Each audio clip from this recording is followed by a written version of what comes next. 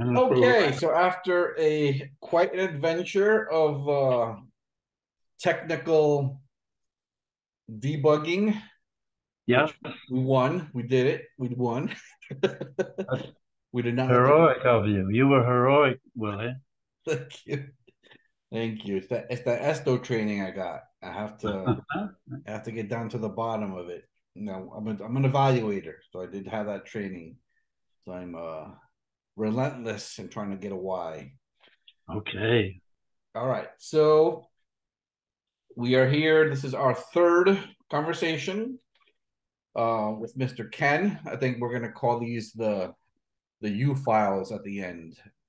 Uh, okay. the X files, we'll have the U files for the Urquhart files. We have a lot of information, and uh, as far as I can see, we're going to be having several more um, conversations. So this will be probably our, our our biggest series yet on this channel, uh, documenting the original practitioners of Dianetics and Scientology and the people that knew Ron the closest.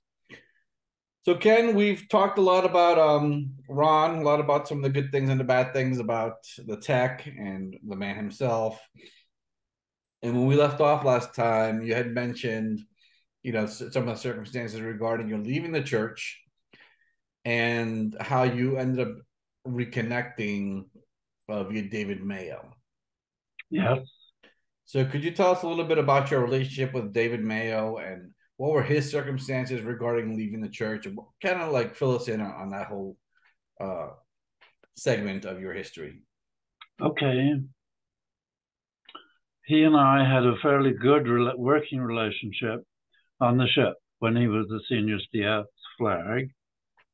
Uh, I supported him when I he needed support from me. Uh, I guess he supported well. He supported me technically. As he's, I guess he CS my folder. Uh, we were both working at Clearwater he was a senior CS there, and he became the senior CS int. I remember when I was still per, PERSCOM, a, tele, a fairly long telex came in from LRH to David, which of course I saw because it was from LRH. And they were, they'd been dealing with some kind of situation, and he ended this telex to David by saying, You are the best CS in the world that would have been probably around 77. Uh, I had very little contact with David until that time when I I was expecting to be declared a, a list one RSer, and I went to see him really to sound him out but I think that was the last time I. No, it wasn't.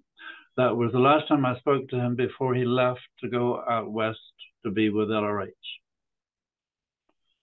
The next time I saw him was when I was an LRH, when I was a NOTS auditor in the flag not, uh, not HGC.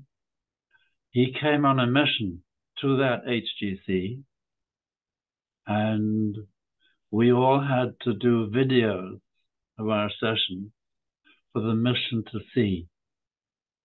And David set up a meeting in the morning where all of the the NOTS auditors assembled, and he showed the videos one by one. And I was putting off doing my video because I was just shit scared. a terrible stage fright, for one thing. But the other thing was that he was very scathing about just about all of the auditors who were turning in videos. And I thought, oh my goodness, I'm not going to survive this attack. so, but the, the, the day came, I think it was the third day, and I couldn't put it off any longer. I chose to video a session I was doing on uh, a staff member. I forget exactly how exactly I got to auditor, but I think she wasn't well. and I just took her on. And we had we started the session. I had the video on, and I had to do a NOTS 24. And I got to the the the very early question about what was right for one was wrong for another. And I I started the question and I couldn't get my tongue around it. I was so nervous. So I just switched the video off so I could do the session. I did the session and I turned the video in without saying a word. so I had turned the video in. and then later that day, Jill, I wanted to say Jill Carstrom, she was Jill Gleason by that time. She was the nuts, one of the senior CSs at, at Flag. And she came to me and said, Your video didn't record. You'll have to do another one. So the next day I felt a bit stronger and started the video. Now in the in the the first session where I did the video that I switched off, uh, we we came across something which we handled to a regular standard knot session EP, BDFN, wide FN. So her, I started the session the next day when I'm decided I'm just going to video it all. And she suddenly comes forward, she jerks right up in her chair and she says, Was there anything left on what we handled last session? And I immediately went into almost panic because here was something I had to handle on video. But I managed to retain enough presence of mind to be watching the needle as she was speaking. And as she was referring to this thing that we'd handled, her needle was floating. So I said to her, I took it that we had, meaning that we'd handled everything on it. Then I said, Did you feel that there was more on it? And she says, No, I just wondered. And she relaxed right back into her chair, and we're back in session. So the next morning, we go in for our videos, and mine just doesn't come up until almost the very end. And I'm wondering, what on earth is he going to say? Keeping it to the end. Probably going to say very well done for handling that origination. well, I'm thinking, well, I, I'm just thinking automatically I messed up. Ah, gotcha. Right. It, it, you know, if it was me, I messed it up. so he played this little scene, this little TR4 thing. He stopped the video and he turned to the group and he said, What happened there? And there was an auditor sitting in the front row under his nose, and he said, "Wasn't that Q and A?" And David looked at him. He, that guy had had two or three videos already, and every time David had critiqued it, his action as being Q and A. Mm. So he said, "No, Joe, whatever his name was, that was not Q and A. You Q and A, that was not Q and A." So then there was silence. Nobody else wanted to volunteer. And then David said, that was a perfect example of TR4. Exactly right. That's what yeah, I saw. Yeah. That's what I saw. Like, what? That's yeah, yeah, yeah, yeah. So he he went through the tape and he explained what was happening, and and uh, then he had them give me a round of applause. Nice. Yeah. Senior CS. The, the next person and the last video he played that morning was the first video that he gave a pass to. Uh, now he didn't say, with regard to mine, he said the auditor's metering is good, his TRs are good, and his TR4 is excellent. That's all he said. But the, the last one, he said he gave that a pass. So I assumed that mine wasn't a pass. Hmm. But, you know, they, they, then put up a, a, a roll of honor to show all of the auditors that had passed. And then they, my name was second. So I guess he did give it a pass. Anyway, uh, the other thing that happened on that mission was there was a situation at Flag that really bothered me, and I couldn't get anywhere with it. And I, I actually Q and A'd with it because you know in the not instructions there's the the tech is that if you do a date locate, you check to see if a date or location was wrong for another. Right? So I do my first date locate in a not session, and I'm sent to cramming. Because what I did was I completed the date locate to a blow of what we were addressing, and then I checked if a date found had been wrong for another or location wrong for another. And I was crammed that every time you found a date, you checked if it was wrong for another. When you went when you went down the chain, every time you got a date, you checked, is this wrong for another? Hmm. That drove me round the bend. Hmm. Because there's, there's, if there's no bad indication, why are you checking something? Why aren't you going with the flow? Right. So I expressed my objections very clearly. I was crammed again on the subject, and somehow I got through the, the crammer back in the chair. And then I thought to myself, well, third cram, and I'm in retrain or retread. And I don't want that. So I did it their way. But very happily, one of David's actions on the mission was to he put out a question questionnaire asking different questions. And one of the questions was, is there any arbitrary you have come across? And I thought, boy, you wait till you hear what I have to say. So I told I wrote that out and then he he issued a correction saying that the way I was interpreting the bulletin was correct. So we didn't have that nonsense anymore. Did he back it up with references, or was he just like, "No, this is the way I see it"?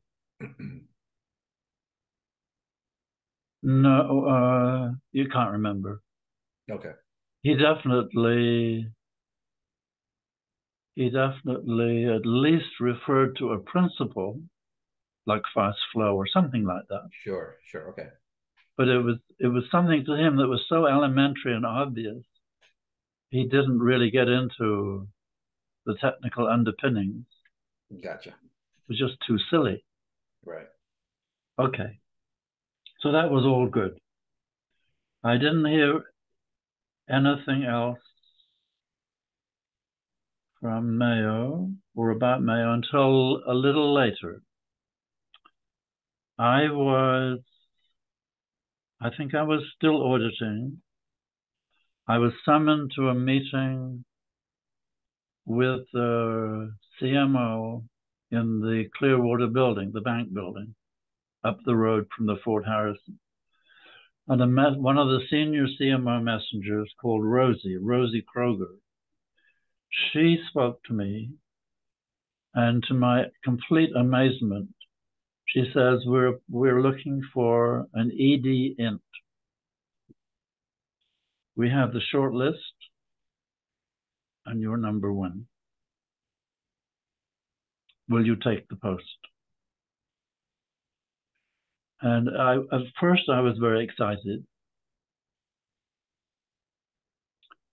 And I didn't accept it. I said to, I asked Rosie if I could think about it for a few days, but it didn't take me that long. At first, I was thinking, well, the first thing I'd really like to do is to go on a tour of all the orgs. Mm. I'd speak to all the staff, especially the tech staff, and some of the people in the field, and I get to know them and I get to a feel for how things are out there. And then immediately I realized that would never happen. Because you don't do that in the Sea Org. In the Sea Org, you get bright and brilliant you have a super idea and you get into action right away. and then I, of course, I would have been told, well, we have the the the admin system in the flag bureau to get observations on the orgs. They had a file for every organization, and various bits and pieces of paper, including the stats, went into those folders. And when they needed to do an eval, they would go through the folder and find the out points and you know take it from there, do the eval, or they might send a, an observation mission. But anyway, I didn't have a lot of faith in those folders myself. So then I I sent a little memo into Rosie and I said, How does this post relate to the CMO and the Guardian's office? No answer. Hmm. Stupid question. So I then thought it about, about it some more, and then I knew I could see what was going to happen. They would put number one on the post, give him a very hard time, and then shoot him down in flames. so that they could say to number two, look what happened to him.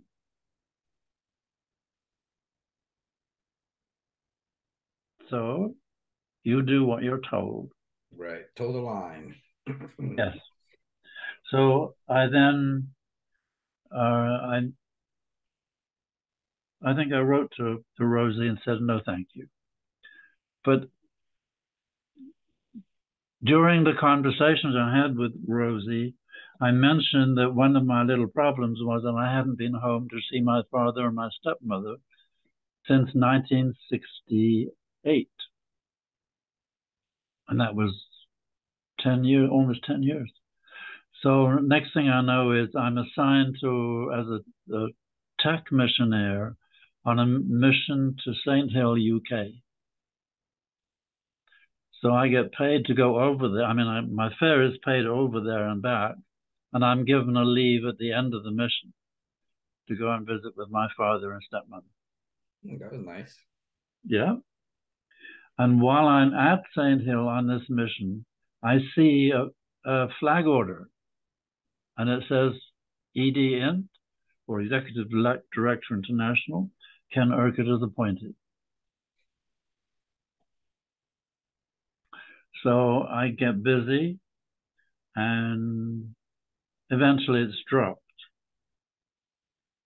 I understood later that it was David Mayo who put pressure on the CMO up wherever he was to tell him to, to cool off and to accept my refusal, which was I'd be very grateful for if he did. While I was on that mission, I, that was not long after the bulletin had come out uh, saying that whenever you got a read, as on a, a rudiment or a, an auditing question, you would find out whose charge it was. And I noticed that the OT3 review auditors at St. Hill were not doing that. So I checked with the St. Hill CS, and he says, no, we, that bulletin hasn't come to us yet. Mm. Uh, but then he said, I've seen a copy, and it's it's only for NOTS. So I I um, telexed David Mayo pointing this out that the OT3 auditors at. Hill needed that. And he his response was, okay, issue the bulletin. And I'm thinking to myself, bloody hell, me issue a bulletin? Don't be silly. So I, I didn't. Well, that wasn't my hat mm-hmm. to issue a bulletin. and anyway, they, they, they got it sorted out very shortly afterwards. I think that was the last time I had contact with David within the church. And after I left, I went went back to Wales to my father and stepmother, was there several months. Then I got an offer from somebody I had audited at Flag, very generous, very kind offer, to fly me over to the States and give me a job. The unemployment at, in South Wales at the time was very high, and I wasn't getting anywhere, so I was very grateful to accept that invitation. I went over, was working in New Jersey. It didn't pan out as we both planned. Mm-hmm. And then one day, uh, I got a phone call from David saying he'd set up a center in Santa Barbara and would I like to go? And with the, the agreement of the people I was with, I was, I think I was out within two or three days. Uh, he had set up a center in Santa Barbara with, you see, three, no, four people that he had worked with at INT, wherever that was in California. Mm-hmm. Well, five, the Julie was with him. And let me pause here for one second so I can get the timeline straight. So you had gone to the Sea Org had paid for you to go to St. Hill. Well, yeah, to St. Hill. You took a leave. Yes. Afterwards. And then you, you, you went to Jersey on this job offer? No, sorry. I went to Wales on the visit, then I went back to Flag and resumed auditing. That's what I, okay, that's that was my gap. I was like, okay, there's sorry about that. Something I missed something there. Yeah, okay. yeah.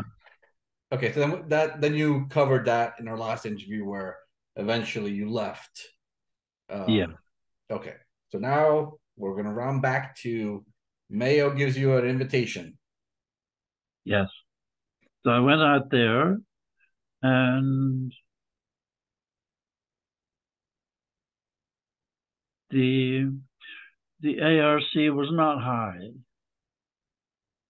And I think I I probably well, I'm sure I did. I contributed to that because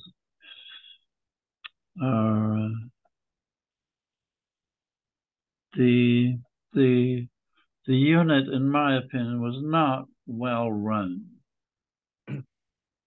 It was he had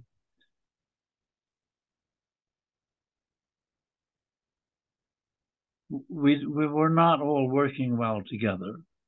Mm. I'm difficult to work with to begin with. I know that. Or I should say I'm not easy and uh, I can be critical, and I, you know, I was a bit standoffish. It, and I was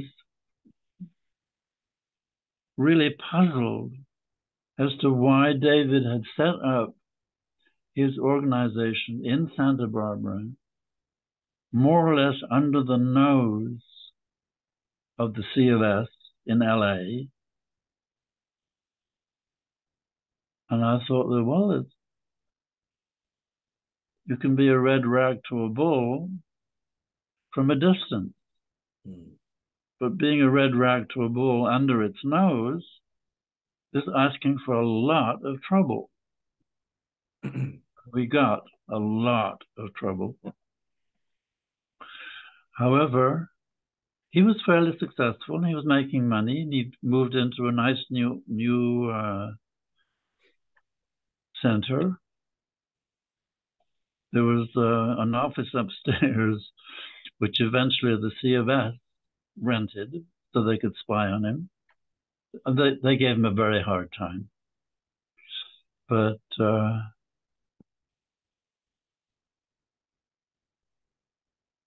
I was an auditor, and that's all I was. I wasn't interested in doing anything else. I think I think that's one reason why things didn't go too well. I think he expected me or wanted me to take a, a more senior role.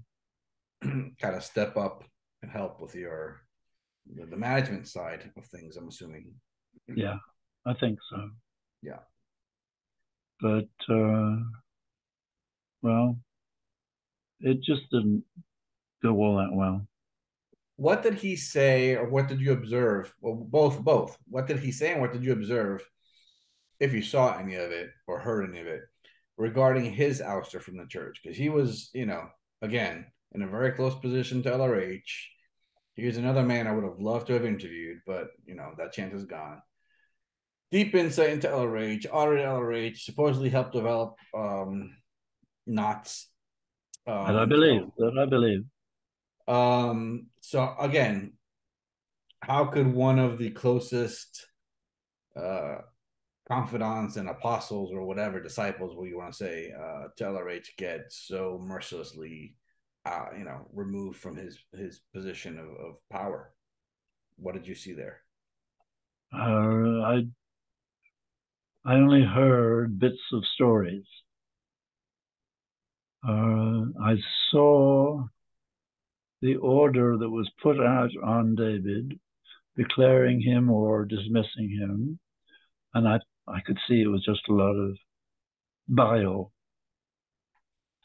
But as I think I mentioned before, I was, a, it seemed to me that anybody who got close to LRH was always in danger of being thrown in the garbage. Uh, rapidly and noisily and on a whim.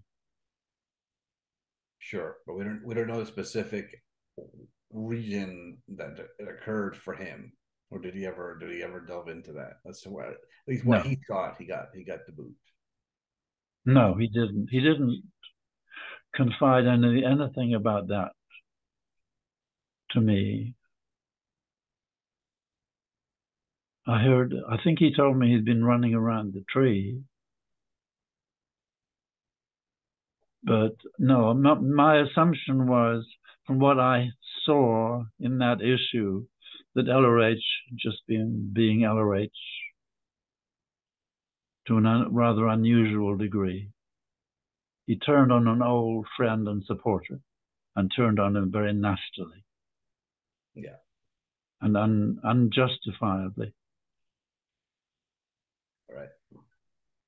Yeah, it makes you wonder, um, because you know, there's the whole um the I think it's an executive directive where it talks about you know David Mayo being a squirrel. yeah Um. Well, if you if you're so secure in your abilities and in your tech and whatnot, it falls on you to have not detected that way earlier.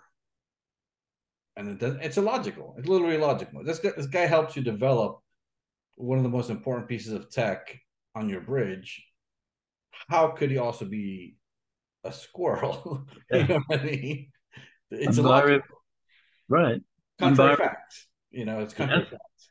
Yes, exactly. And also on the same line, David was reportedly called over to be with LRH to help him because LRH was dying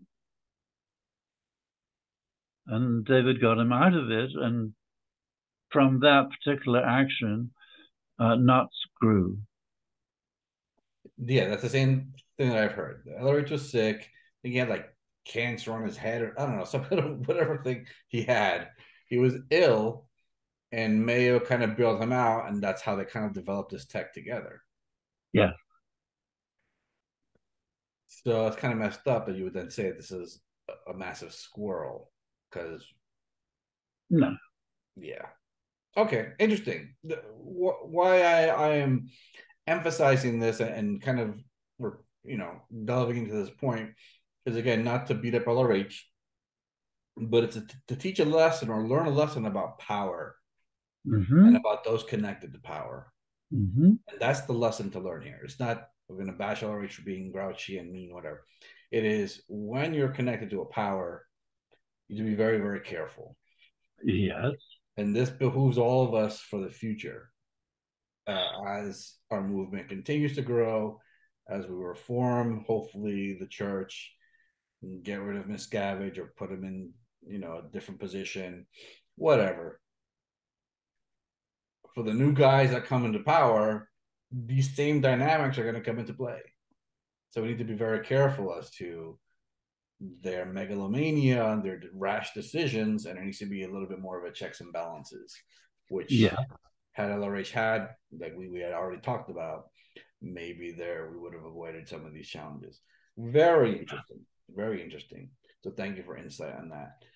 Um, okay, so the things weren't working well. The church was attacking Mayo. Can you share uh, shed any light on what they were ex- exactly doing? Were they just showing up to his door and you know saying you're a squirrel, or were they throwing tomatoes at him? What, exactly were they doing to bother him? There was well, I was at that center there wasn't anything terribly over like demonstrations or people coming yelling and throwing stones. No, mm. it was mostly legal. Okay, so accusing him of violating copyright, trademark, that kind of stuff. But I I wasn't in on it, but whatever they could you know, it's just their way. Whatever they can attack with, they attack with. Yeah. Okay. I wasn't wasn't directly involved in any of it. I think I had a meeting or two with his lawyer in Santa Barbara. I was not involved in the legal until after I'd left and I was living in Miami. And then the church's lawyers came, I think, three times to depose me. Regarding his the AAC? Yes. What do they want to know? Uh, to tell you the truth, I can't remember. It was uh, they had a, this. I was, I think I was deposed mostly by the the lawyer Yanni, and Yanni had a very high opinion of himself. Uh, maybe quite correctly so, I don't know. But anyway, it was mostly about him feeding his ego one way or another. That's what I felt. Gotcha. Okay. All right. So then you're at the AAC, you're seeing these attacks, you're wondering why the heck did he start a um, competitor to the church literally an hour and a half away from its headquarters where they have full access to just bother you day in and day out did not make sense to me. Okay, so carry on. What happens next? Uh, I was auditing there fairly successfully.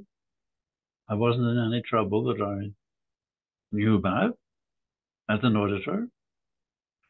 Then one day I had a pre-OT came in who was he had he had some I think he had OT3 or something like that, and then he started not with some other auditor who was there. Then he came to me. He had to leave and go back for business reasons, and he asked if I could go out there and stay in his house and continue the NOTS auditing. And David Mayo agreed to that. So in due course, I went out there. While I was out there, I was in touch with an old friend from St. Hill who had been in the Sea Org and left it. She was living near New York City. Uh, we met. She was interested in some auditing. I gave her a DAP interview, which went very nicely for her. And she said to me, I can get you pre-OTs. So I thought, well, that's that's an, an avenue that's opening up. And it sounds more promising than the avenue I'm on right now. So I encouraged her to do that. I went back to Santa Barbara and I heard nothing from her for a couple of months. And then I wrote and said, you know, what happened to our little project? So she got busy and got me some pre-OTs, and I left. And by that time, she was living in Miami, so I, that's where I went. Okay. And there were some adventures there because there were there was a group of people who had been on staff at Miami Org for years and years, and they had made no progress towards clear. And when I got there, I was auditing people on NOTS. And these staff members were on at me to help them get to clear and beyond. I wasn't too willing to get into that because I'm I was just on my own. I was not really experienced in managing a group of people and getting them through their actions properly. Mm-hmm. There was a class eight auditor further, I mean, north of Miami, and apparently she had been in touch with these people. They, they had all been in touch, and she had offered them, so I found out later, to take them through whatever they needed for, I think, half a day a, a week, half a day at a weekend. And that didn't indicate to them as something that was going to help them too much. So when I appeared, they were they pressured me to take them on hard. And eventually I gave in. I couldn't say no anymore. These were current staff or former staff? Former staff. Gotcha. Okay. So then I found out that this class eight, a, a mission auditor, who of course left the church by then, she had had an agreement apparently with those people to be their terminal, their auditor and, and supervisor up the, for the, through the advanced courses. And she called me as soon as she heard that I had agreed to take them on, and she complained to me for an hour and a half. So eventually I said, okay, they're all yours. I mean, I, I hadn't been trying to hold on to them. Right. I was just listening to her complain. She didn't stop. but once she finally wound down, I said, okay, they're all yours. Take them. But the the people involved, the staff members who wanted to move on, they wouldn't have it. They were not interested anymore. So I was kind of left holding that baby. Mm. I got myself into it. Yeah. And that that went okay, but not really very well. So where are we? So, but and that um, I think that upset David and his crew to some extent because I think they were there was some connection with this mission auditor who was further north of Miami, and there was some expectation that these people would go to her and then to the AAC. gotcha. Somehow Ken messed up that line. Yeah. That led a flow of PCs. Yeah. Gotcha. So did you end up auditing them, or did you end up leaving I, halfway, or, or what happened? I trained them, trained to, them to solo audit on three.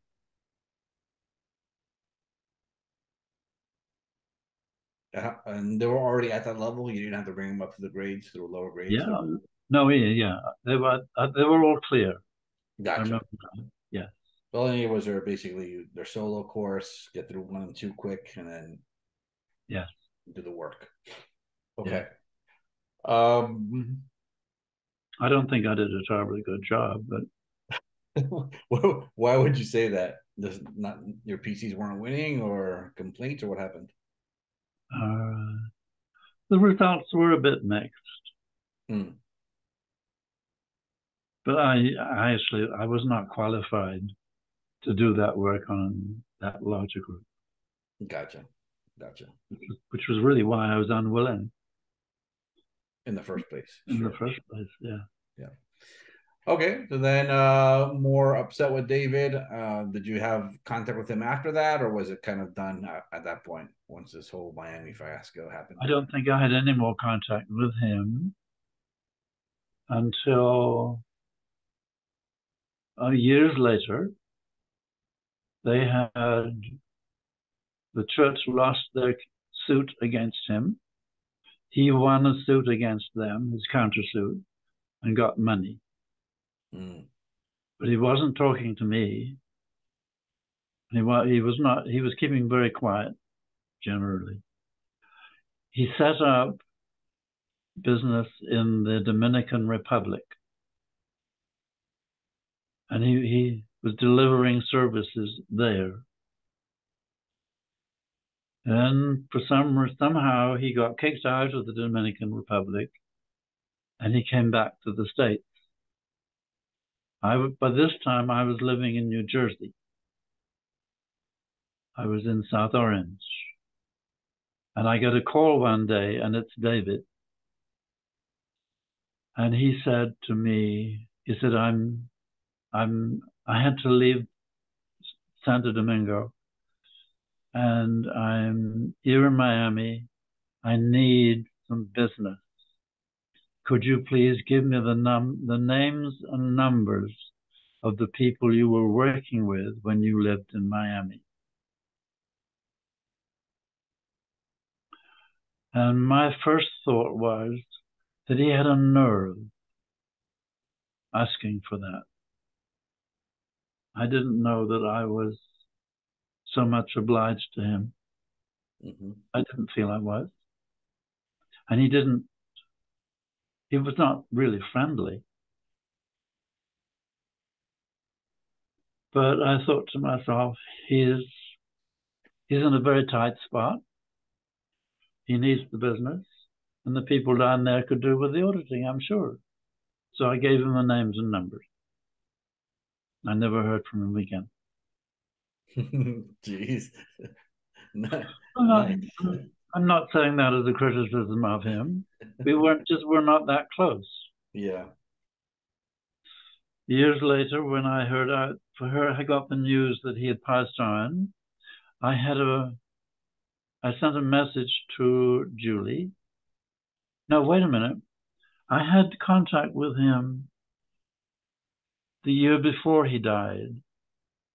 Hmm because I was I was auditing in a situation that was a little bit difficult, and I needed CS uh, support, and I wasn't getting it.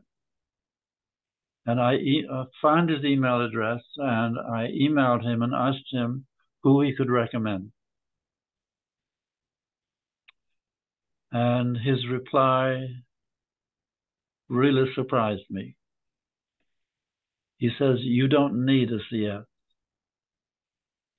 He says, You have ARC, an understanding. He was very complimentary about my auditing mm. and my technical abilities, far more than I felt was could possibly be justified. Anyway, he didn't recommend a CS. Just told me to get on with it. Uh, and I just couldn't be sure if he really meant it or if he was being one one. And knowing him from the past, he could be very one one. He mm. could be. Mm. He was very often one one about admin execs. Yeah. Did, did not like them. I couldn't blame him. So that that was my last contact. Then later I heard that he had passed away, and I sent a message to Julie of um, giving her my condolences, and I didn't hear back. So I don't know if she got it or not, but if she did, she didn't reply. Gotcha. Okay. Similarly, that's Mayo. That's the Mayo Odyssey. Same kind of question, but regarding a Pat. I don't know how how you pronounce his last name. It's either Broker or Brooker or We knew him as, we knew him as Pat Broker. Broker. Okay. So what was your relationship with him if you had one and what did you hear along the lines of why he left or why he got the kaboosh after being named um, loyal officers and, and all that, him and Annie? Well, I knew him on the ship. His his wife, Franny Broeker, was a Commodore staff aide. She was CS3, which is the org division, the mm-hmm. Treasury division, sorry. And he was he was on finance lines. He might have been a finance rep or whatever they call them. I forget now. But he was on the money lines, the ship money lines. And he came to my notice because he got into, he found a way to get a line to LRH, which was always a big deal for anybody on the crew. Very big deal. And that line was that he would organize the purchase of very expensive presents. For LRH's birthday, and I think May 9th. But for the birthday, for example, one year, this was only about three or four years, but one year he got LRH and Mary Sue large platters made of gold. I forget what you call them. They're, they're big platters that you put in front of a person, and then the dinner plate comes and it sits on that platter. A, a charger. Charger. Yeah. Is it a charger? I'm not sure. Anyway, it's maybe you're right. Yeah. yeah. Uh, so that was one thing. But the the other thing that sticks out in my memory was he had uh, um, a, a, a name thing that you put on the desk. And it said L. Ron Hubbard in big, heavy letters, and it was on a big, heavy base. And it was all gold. Like solid gold. Solid gold. and this was Pat's idea of, I guess, validating LRH. I thought it was nonsensical, vulgar, and a waste of money. And he, I, it was not a big priority of, for me to do anything about it. I had other other things to do and other fish to fry. Mm-hmm. Uh, but LRH was accepting it. So I didn't have very strong grounds to object. Sure. Right. So the next thing I hear is he's off with Annie and the rest of the CMO.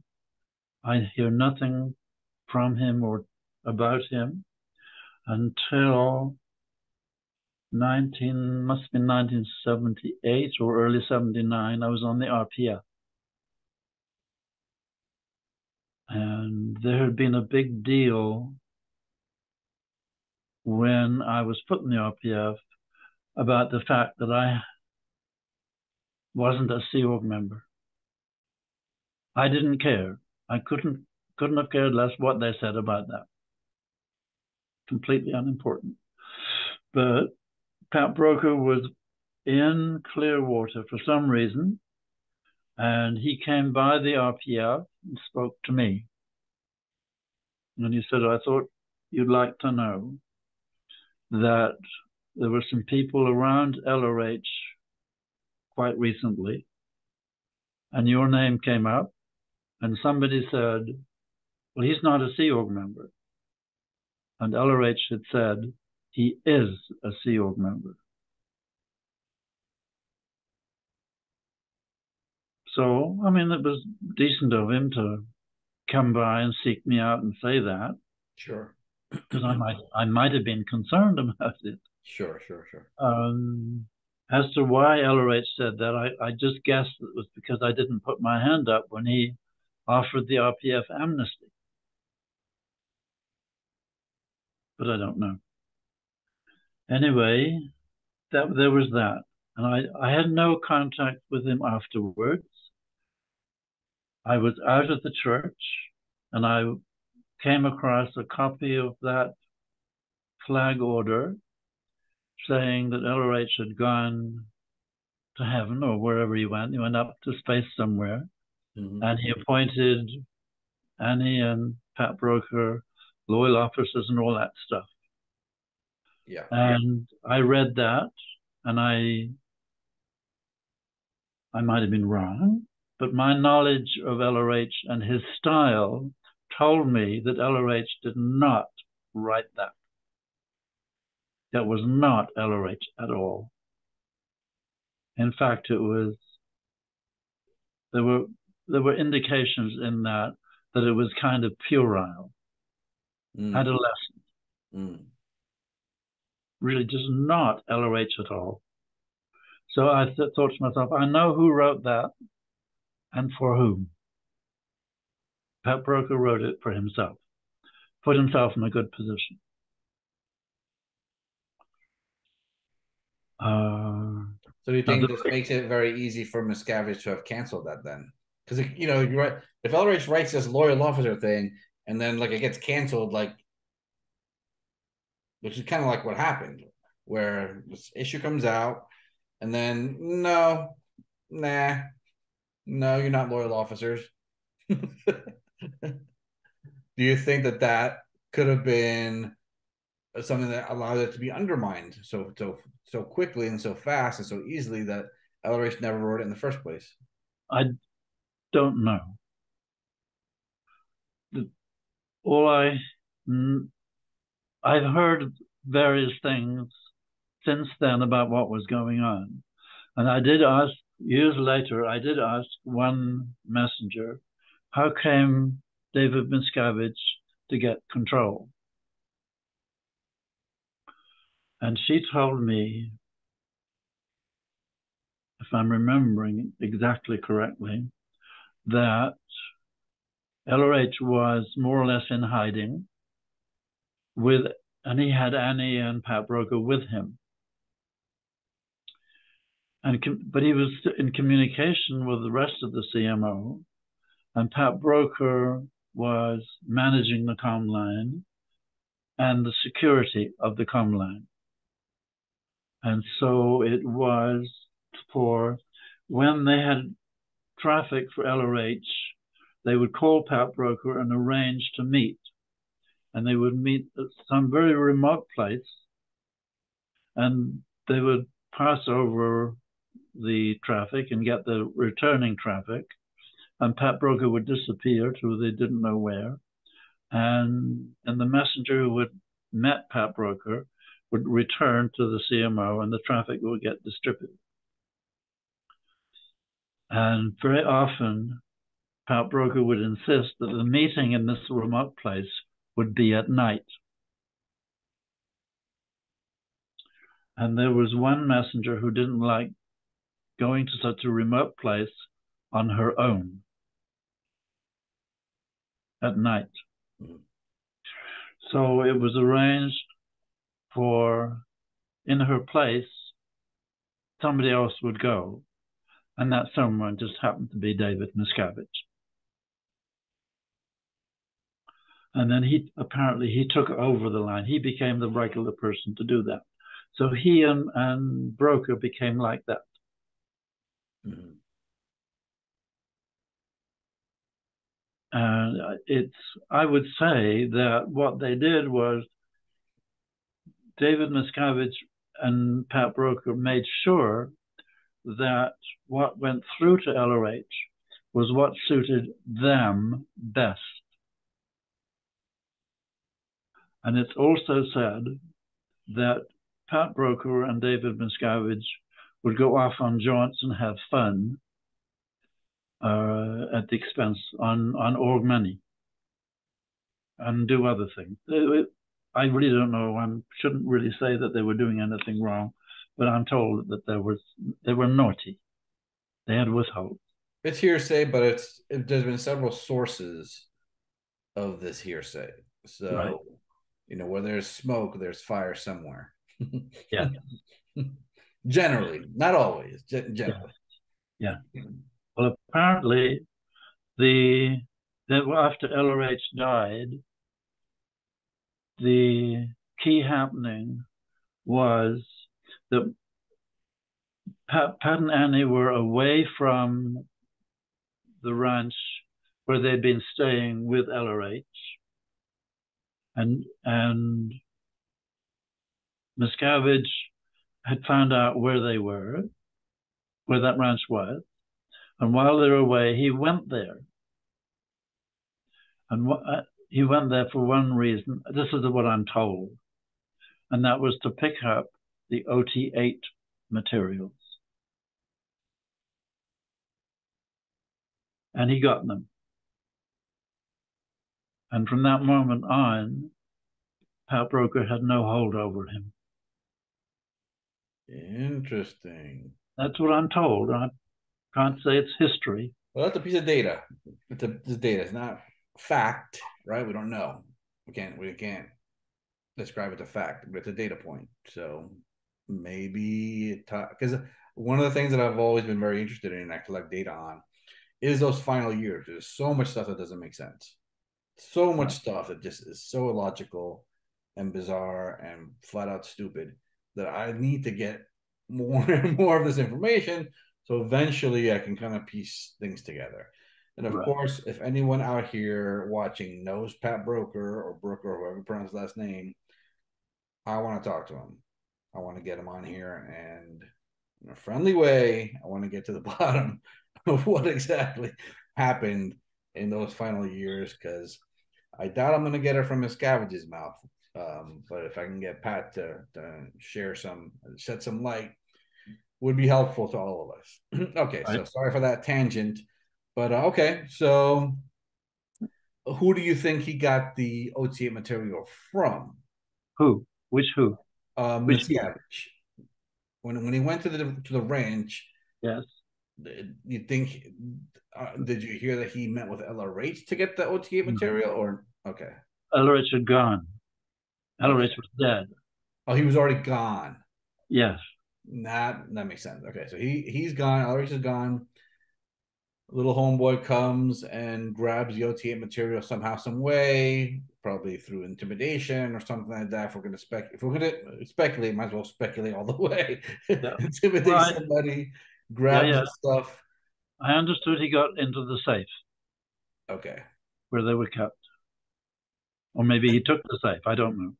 Just, and just OT8. Did he take the rest of the stuff, or was just OT8 that was written up there? I don't know. Okay. And then Pat Broeker basically has nothing left because he, he had, I guess, that was his leverage. Mm-hmm. And you have to remember that LRH had had left wherever he was in a hurry to go to that that remote place where he was hiding out. And his I would say almost invariable practice when he had to move was he would take somebody with him, a couple of people, or maybe a small group. Mm-hmm. But in order for the the unit that he was leaving to remain operational, he would take a couple of people that were not vital. Okay. So we know that he took Pat and Annie because he thought they were not, you know, not all that important. Very interesting. Not top. They were not heavyweights as far as he was concerned. To the management of the organizations. In other words, he could take them off the lines and nothing would, would crash. That's correct. You know, that, that was his almost invariable practice ever since I started working for him. That's how the Sea Org got set up that's an interesting perspective and one that I hadn't considered. I, I had considered the the the opposite that oh no, he's going to take the best of the best to have her on him. Uh, no. Wow. See, this is why we have to have these conversations. the, the Sea Org was begun with people from St. Hill that were not very important. The expendables. They were not very important, yes. And they ended up, you, it, and it happened again when he left Clearwater and set up the CMO out wherever he was. And he didn't, I don't think he understood that for the people who were left behind, the important people who were now subservient to this new senior level, issuing orders down into the old level that was left behind. And they were people that didn't that weren't really respected all that much by the people they were now pushing around. Yeah, which breeds automatic. It was a, yeah, it was it was wasn't a good organizational dynamic. Right. It, this is uh it's human nature. I don't care if you're OT ninety seven, whatever you think you are. You see some rather incompetent or mediocre person. I'll tell you, this happened to me when when I was in Miami Org as a staff member. We oh, had, yeah. We had an expediter. So sitting there, you know, stamping or tickets to go watch a film or you know personality test.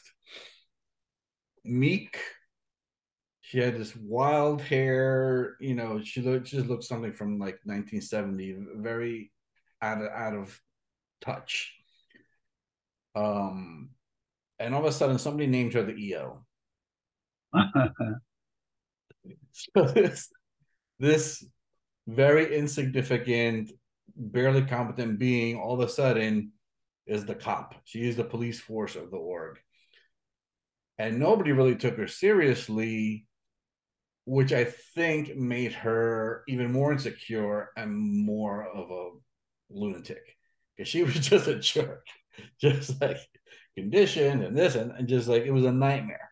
But I can yeah. see how that, if you amplify that, could have turned you know all the old competent executives into you know resentful people because now you've got these especially if they're teenagers giving you orders, and you're like, who the hell are you?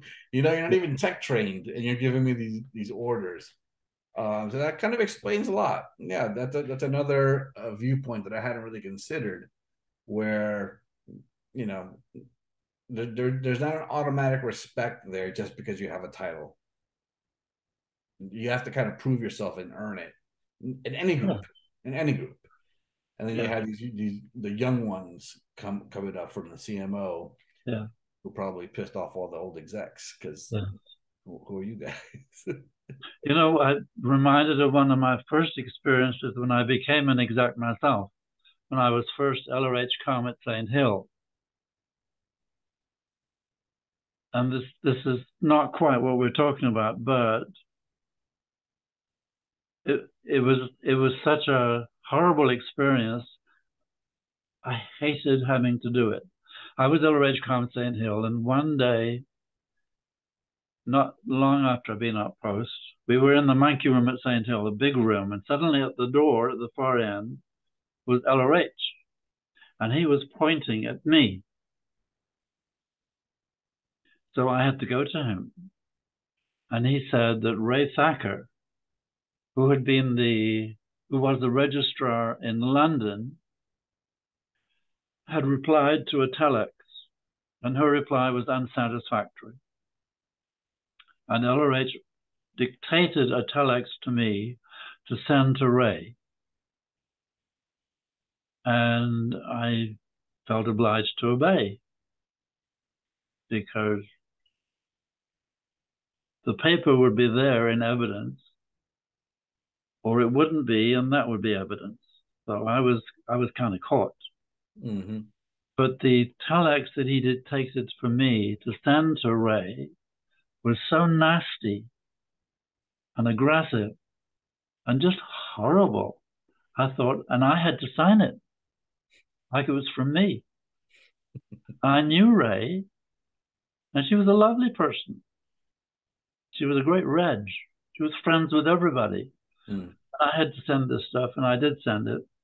And uh, I, I've always shuddered to think about it ever since.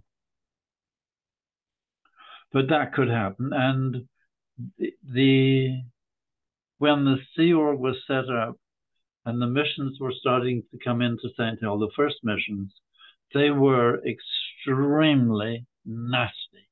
Were they? Absolutely. Yeah. Knife in the wall.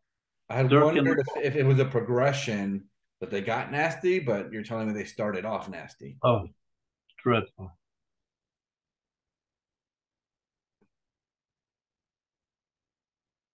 Yep. So I think that brings us back to the point of power. Yeah. I think I always felt that LRH had a misunderstood, or at least a misconception about power.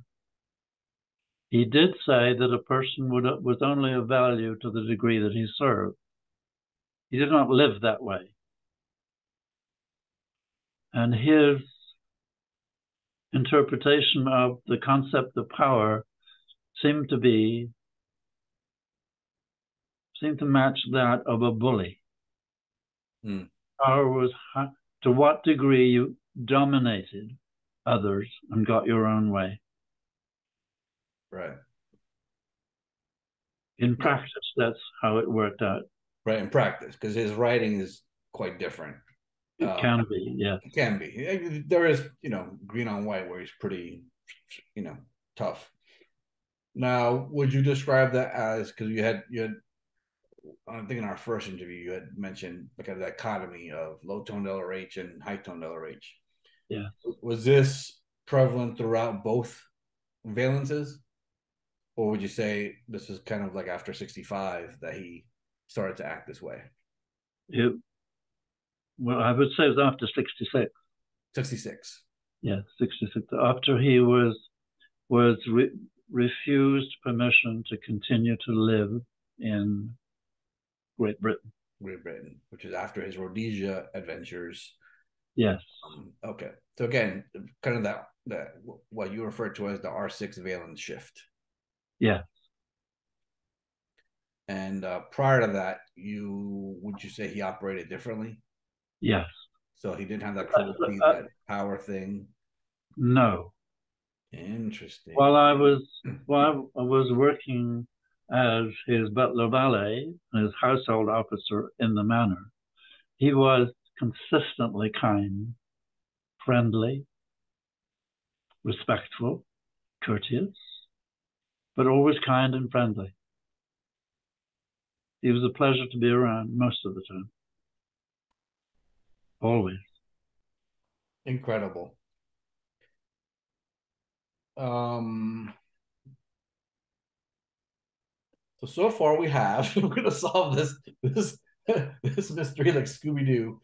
Uh we have for some reason he changed valences after I guess you know he decided to get tough. The proper valence was to be tough. Um, yeah. If nobody to keep him in check and assign a condition, I think he's got an uh, unhandled condition and also unhandled bypass charge, according to yes. we've, we've yes we've learned from from Otteroos and other stuff. Um, but I think we can sum it up to say, and this is going to ruffle some feathers, that Scientology's problems are not just because of Miscavige, but they also spring right from LRH directly. Oh yeah, yeah, definitely. So this one needs to be confronted.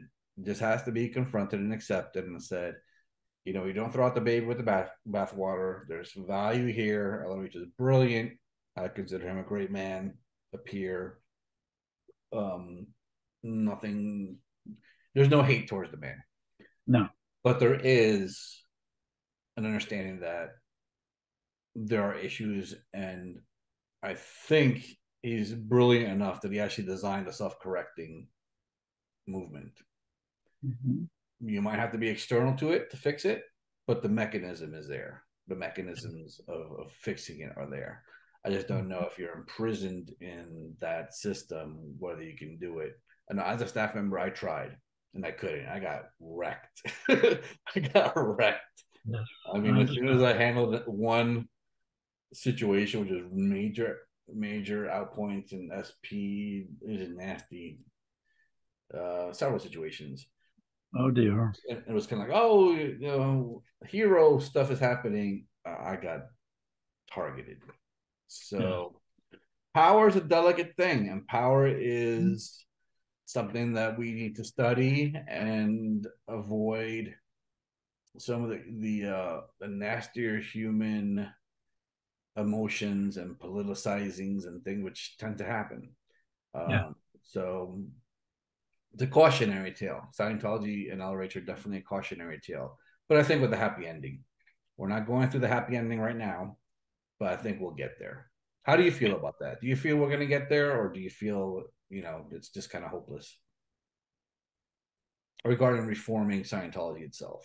Yeah, I I'm very much a pessimist, but I'm a pessimist about a broader situation, and that is simply the, the fate of mankind as a whole.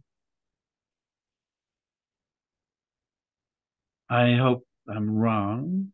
I'm certainly not asserting that I'm right, mm-hmm. but it seems to me that man, mankind has set himself up to be going over Niagara Falls in a barrel, as LRH used to say, and he's well over.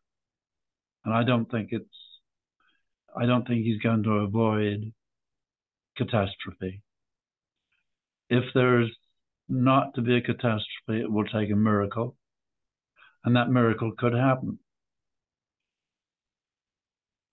But I think that it's very likely that we will be in such force dynamic turmoil within the next few generations that there'll be no time for Scientology. Mm. People will be just too busy trying to find somewhere to live and then trying to find shelter and food, water, and clothes for their children. And I think it's it will very quickly get to a point where there will be such civil disorder that there will be social chaos because the police and the army and the armed forces they will all be hungry and thirsty and cold, and they'll all be wanting food for their children. It'll be a free for all. I think. Yeah, you're not the only one that thinks that way. There's a lot of dystopian stuff, um, especially if you go to YouTube, an alternative. Or even the mass, the, the major media is starting to hint towards um, challenging times ahead. the euphemism. Um, I have a little bit more hope. I've right. been where you were at for a while, a while ago, and then I started to change my mindset a little bit. Uh, we're two different people, so we have obviously two different things, uh, two different points of view. Um, but it is if if we don't take action, I absolutely agree with you. If we don't, if, that miracle, that hail mary pass in football, ha- something has to happen drastically and dramatic for things to, to change course because this is not only um where we're heading now, but you know, it seems like it's programmed mm-hmm. and predicted. And even the Bible, it's like there's a whole bunch of people just waiting for this catastrophe to come as a, even a self-fulfilling prophecy. Whether nobody could have that vision or nobody was pre-programmed to to to this end um it's becoming a self-fulfilling prophecy because it's like we can't do anything about it. There's i mean every day you you wake up and it's just more horror and stupidity. You know you, you and i have conversed via email. You know my point of view of it's like the the stupidity of this planet it's just mind boggling and it gets stupider every day where it's like I have to laugh because it's just so ridiculous. Uh, but is my long-winded way of getting to this point or this question is if we were to have a chance of turning this around, is there any single piece of tech that could be even just an HCOB or an HCOPL or a book or a line out of a book that you think could turn things around? If we were to say, okay, let's just apply this and somehow get it out in a big way to make a big impact, this could totally change things and stop this dwindling spiral on Earth. What would that be? What would you, of all the stuff you've encountered in, in LRH's work, what could be applied so that we stop this madness?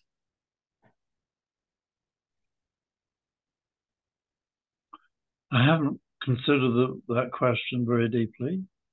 My mind goes immediately to the tone scale and the handling of the tone scale, the handling of people at various points on the tone scale. Individuals, I mean. Mm-hmm. Uh, but then I think if you were going to emphasize that, you'd have to you'd have to have you, you'd have to go into a, very thorough hatting of people on the tone scale and how you handle it. But I think you would have to do it on a basis which is completely not Sea Org. Mm-hmm. And you'd have to do it on a basis of everything everything that you do has to be according to um, I'm repeating an old Sufi teaching. Everything you do has to be necessary. It has to be true and in accordance with the truth, and it has to be kind. Yeah that would bring you into a state if you, that could be done by enough people that could result in a, in a condition of power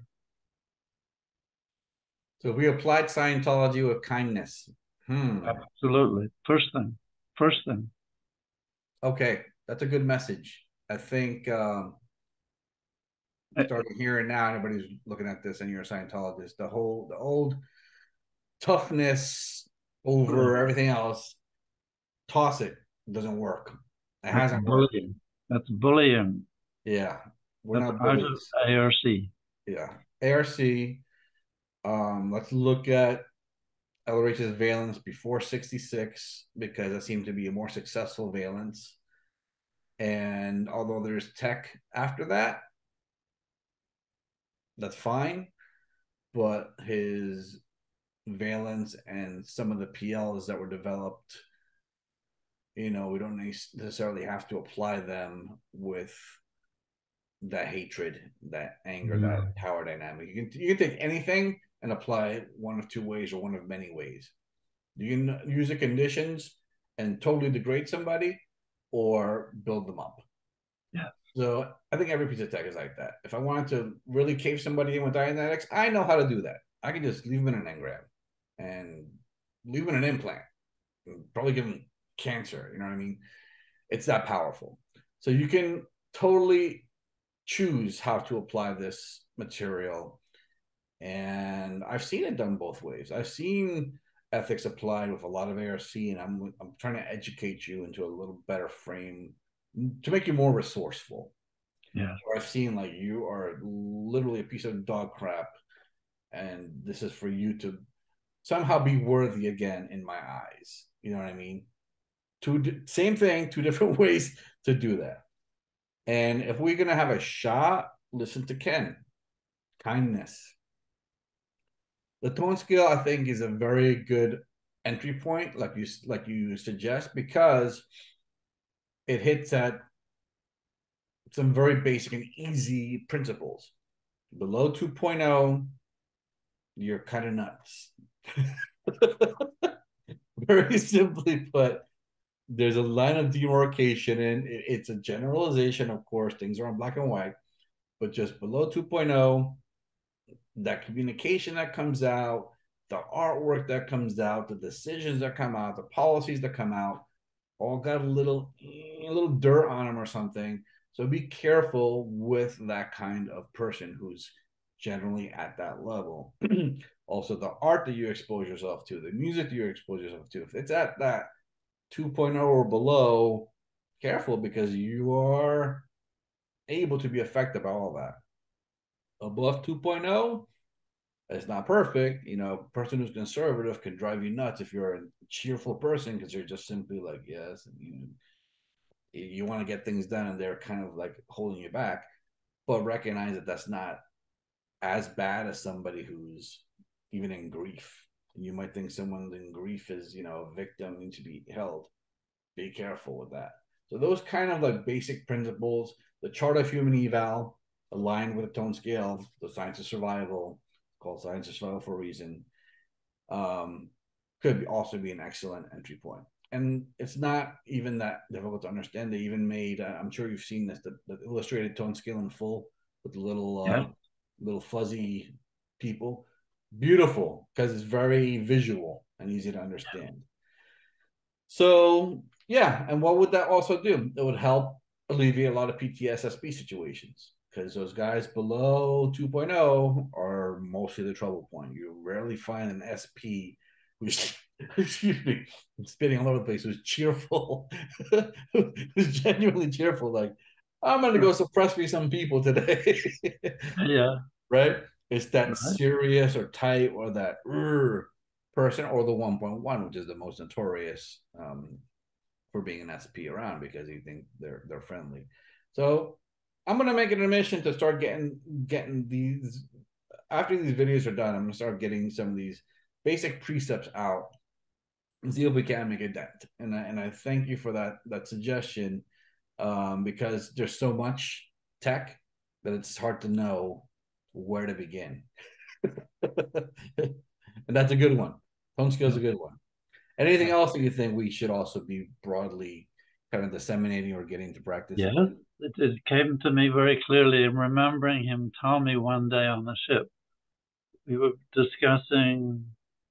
There was a situation where, where there were several people who had been put in condition for this, that, or the other, and things were not going smoothly. Things were certain things were not getting done. And he, he, we were discussing this, and he kind of shrugged it off, and he says, "You know, what these people really want mostly is just a good TR4." Yeah. yeah, very true. I think spot on. Very true. yeah. Even uh, understand what's happening and deal with it but understand it first. Understand it first, and yes, yeah. and make sure also that they feel heard. Because yeah. just with a good act, I'm not saying I'm 100 percent my TRs are perfect, but with a good act, I've diffused so many situations and so yeah. many upsets and so many potential flaps. Yeah.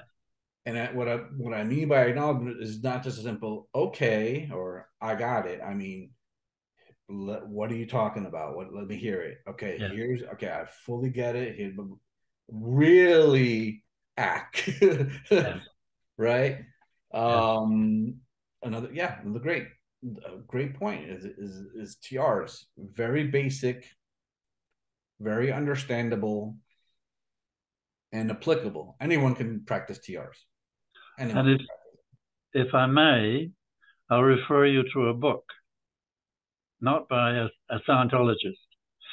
Uh, well, I checked out the author, and, and as far as Google is concerned, he has no connection with Scientology. He was a policeman, and he wrote the book called Verbal Judo. Okay. Very interesting book because that's all about TR4 and how a policeman on the street uses it to defuse all kinds of hairy situations. Very interesting. Verbal judo. Yeah, verbal judo. Excellent. I will check that out. I'm actually going to write it down. Yeah, yeah. Okay. So today we went through David Mayo and Pat Broeker, some amazing revelations that we hadn't heard from heard of before. Um and where, it's and some of the tech that's going to help uh moving forward. I would say Ken don't give up. I mean, nobody knew me from anything last year. No Scientologist knew who I was or what. And I still don't know who I am. Uh, widespread, but um, here I am doing interviews with some of the most important people in the movement. Something which nobody else had really been doing besides uh, from a strictly critical viewpoint of like let's talk as bad as possible about to run over to Scientology and uh, here I am. I just decided to do this, and now I'm doing it. And there's right. more more to come. Um, so don't lose faith. Don't lose hope. There's plenty of people out there that are just simply observing and waiting. I was one of them. And they're young and they're energetic. And I think that they're going to start becoming active and we can get something done. There is going to be turmoil because there's a lot of people that want it. Simple as that. yeah. Uh, but uh, I, I, think that overall, uh, as long as we have tools, we have a, have a shot. And as yeah. long as we don't get Scientology banned um, or allow it to be banned, um, as it has been in some countries in the past, um, we have a shot. It's not the, the mm-hmm. final solution, it's not the only thing, but we combine it with other things. We combine it with verbal judo. What if we did a seminar about verbal judo and we talk with TRs? How wouldn't that help police officers so that they wouldn't have to shoot people? Come on, well, there's a lot of things that we can do in the world. So, so have faith, my friend. I think that um, things will get better. They might get a little crazier um, in the short term, but uh, with enough energetic people and enough wise older people like yourself to guide us, we can get something done. Well, yeah, but you have to organize. And that that and that's a stickler. Yeah. That, that is a, little bit of a stickler. Because who uh, wants who wants to be organized these days? You're right. yeah, yeah. Guilty. Have, I'm not. I'm not. I'm not a third dynamic. Uh, at least at present used to be. Right now, uh, I'm trying to even envisioning myself working in a third dynamic. It just seems like a, a ginormous waste of time. I've tried it. We tried it, you know, and it's just been like, how can we waste more time and have more infights today than we did yesterday? how can we disagree more today and waste more time on useless crap uh, than we did yesterday? So I was like, you know, I'll be I'll be lone wolf until um, there, there's a big enough of a, of a momentum. But yeah, you're right. We, we do need to organize. We do need to to come together. There's no way an individual here, there, it's, it's sporadic is going to take on uh, these very very organized, if crazy uh, beings that run run things now. The organized people are the out ethics people. Yeah, they're organized. Very. They're good at it. Absolutely. They know how to do it. They're great at it. Yeah. And at hitting the, the triggers that that cause people to do things and join them. You know, it's it's, it's they're so good. And Absolutely. we're like, well, we're so spiritual and we're getting this decimated. well, he warned it. Uh, LRH warned about it, right? OT's individuating and uh, getting hammered by these um, lesser but more organized people. Well, yes, that's true, but it's also a fact that the world is populated by millions of very decent people. Absolutely. And if oh, yeah. we all got together and organized ourselves, our voices could be louder than the rest. But we won't do it because we don't think it's needed. We most people just are not aware that it can be done and should be done, in my opinion. Any particular groups you think we should align with first? Or is it just an individual or a, you know the individual mom and pop across the planet? Do I think don't. I don't know the answer. Okay. Just be the best you can. Very always. Good. Very good. And I think, to, to me, the the basis of leadership and power and the ability to guide or influence or affect is the fact that the only power you ever have is the power you give away.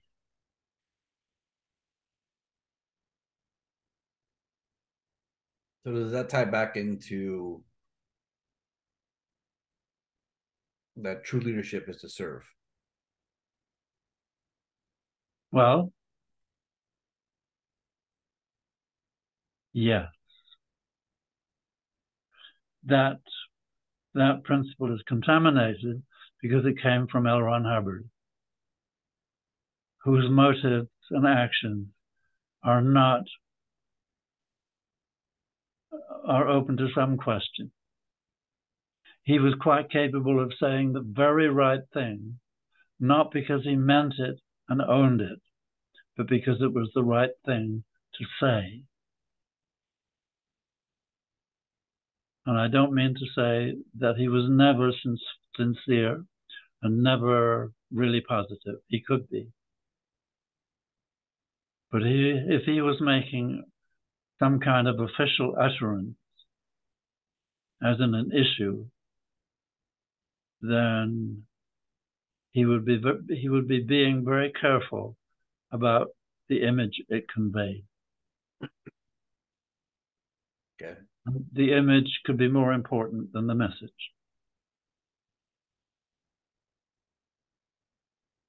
And what? If, yeah, go ahead. Uh, I would say if if I had ever told him that I think the only power you have is the power you give away, he would immediately have called me insane.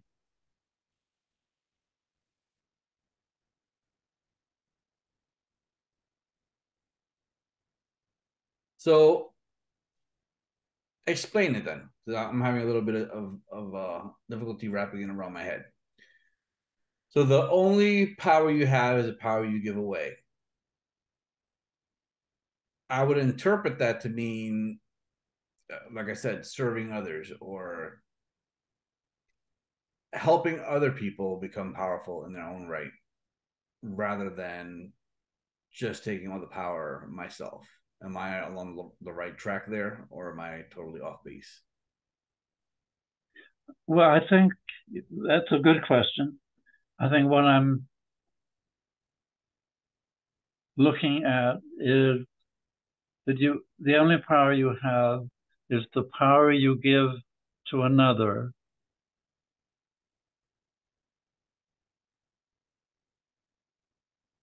to be himself or herself and to be right. And to learn. Yeah. And to be to be on whatever path the person is on in my opinion. Whatever person whatever path any individual is on is the perfect path for that person. Gotcha. That makes more sense to me now. Good, good. it's also tied it ties into granting of beingness yes something i and learned it, yeah all right and it also avoids the situation that Krishnamurti was looking at. In the 1920s, Krishnamurti, who was a very wise man, he was pressured to take over leadership of the Theosophical Society. And he refused. Uh, I forget his exact words, I'm sorry to say, but it was, he was saying, I think, you don't need a leader. Nobody needs a leader. A leader just causes problems. And if you think about it, as soon as the group has a leader, there are people who want to please him or her. And people who have disagreements but don't say so. People who have other agenda and don't say so. people who go along and people who won't go along, people who are overt and people who are, are covert. So they there's a, a tendency to fixate on the fact that the, the other person, the, the, the leader, is in charge and has that importance. And people want to be important. True. So that's my take. Yeah. Hence, we have a third dynamic. Hence, we have issues related to that. Yeah, as soon as you organize it to a group, those, I mean, it's, I guess, kind of natural or, or definitely observable. where yeah. those dynamics happen, like internal dynamics, the group dynamics of like, yes, power and how do you get close to that power, opposition yes. to the power. Literally, the first second you organize, like you take yeah. any group of people and you're like, this guy's in charge. It's like, why is he in charge? Why isn't Joe in charge? Why ain't I in charge? Okay, he's in charge. Yeah. I, I don't like his surrounding people, so I don't like him. Like it's just it gets weird, right? it gets weird right away. On the other hand, you you have to have somebody who has the last word in some situation. There has to be somebody who makes the decision. And I think that Ira Chaleff had the very right idea in his approach to courageous followership. And if if I if I were ever to be in a position of quote leadership unquote, I would use that. I would also use I would I would incorporate John Kennedy's approach. He was the president of the United States. He could order any he could issue any order he wanted to. Sure. But in the Cuban Missile Crisis, when they found out that the Russians were putting nuclear missiles into Cuba, he had to act. And he was wise enough to know that the situation was so serious, he had to approach it very carefully in a very adult manner. And what he did was he set up a team to, to explore and design possible handlings of the situation. And at the same time, there was another team whose purpose was to knock holes in every suggestion. Mm. So that what eventually came out from the agreement between the two sides was, in fact, very sensible. And it worked. John Kennedy got on the phone with Khrushchev and they communicated. Yeah. And they did a Kennedy did a bit of a TR4. He found out what was worrying Khrushchev so much, and that was the, the presence of American nuclear missiles very close to Russia. So Kennedy, sorry, go ahead. Kennedy compromised and withdrew those missiles from away from Russia, and Khrushchev responded by taking his missiles out of Cuba. But Kennedy deliberately chose that approach so that he knew that the the proposal that came to him had been very thoroughly vetted. So uh, that I was going to interrupt you. Um, sorry, I, I, am interrupting you, just because it, today's parallels. Um, it seems like they could easily do the same thing, but there's no like I think Kennedy actually wanted peace. I don't think this current administration actually wants peace. So that sensible solution won't be applied, unfortunately. Right. But it's a great solution. It's a great approach. It's a high toned approach. It is. It makes sense. Right. Well, low tone people don't go for high toned approaches. No. As we know. Hence, let's get people educated on the tone scale. All right, it is um 5:30 my time. We've uh, had a very productive day, I think. We've gone yeah. deep in philosophy and all over the place. Again, I'm I'm very much enjoying these talks. We got through a couple of the questions that we've um, that I've had here. Still have plenty more. So I think next time, just prepare yourself mentally because I think I want to get these RPF questions out of the way. Oh dear. One, get that topic out of the way. Uh, yeah. and and because uh, I know you've written about it kind of extensively, but let's hear your actual voice on the subject um, at our, at our next talk, and okay. uh, I'm sure people will be rewinding and fast forwarding that video over and over again as they as they try to pick it apart. Okay, sir. Okay, I have to run. Okay, so I will see you on um Wednesday. Wednesday. All right, sir. Okay, Wally, thank you very much. All right, good night. Bye bye.